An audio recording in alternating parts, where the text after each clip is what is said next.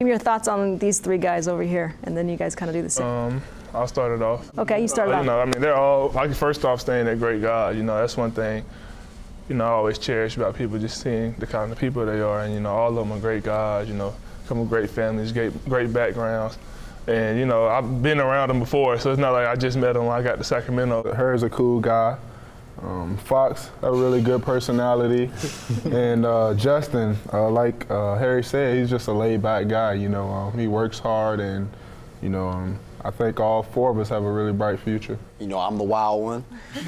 we, all, we, already know, we already know I'm the wild one, but uh, all three of them, they're way laid, they're more laid back than I am. But Justin's, when Harry said it matches his game, like he'll have 20 and like no one knows, like, and then it's extremely efficient. We've all gotten gotten along really well um, right away, and so, you know, just hanging out. Obviously, I've known Fox since, you know, high school days. I've known Harry for a while, and then, I mean, honestly, just meeting Frank through the workout process. I mean, we've clicked pretty well even through that. Does it make it easier that the four of you guys are coming in together, maybe? Because it's kind of a unique situation. Yeah, you don't, you're not the only Yeah. rookie getting Yeah, rookie right. We all kind of going through the same struggle, same thing, moving in with the house, you know, still being off the court, like, you know, like, like, man, you had this problem too? Like, man, I still ain't found no, I ain't found no couch yet, like, you know.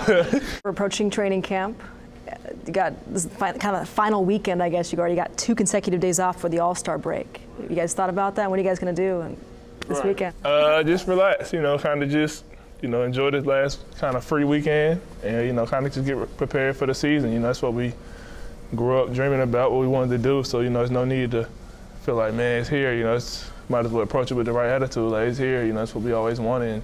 just relaxing. Right. That's it. Yeah, Chill out. make sure my body ready for training. Right. Training camp. It's gonna be tough tour days. Sto- The stories you hear about training camp. What message do you have for the fans? Final one for me. What, what Right. message do you have for the fans? Um, just you know, stick with us. You know, it's it's gonna be tough times. It's tough times with everything. You know, it's, it's- just be with us. You know, we're young, but at the same time, you know, we're ready to go. We're not using being young as an excuse. We can come every day working hard and just we can compete every night as well. So you know, we're not backing down from anything.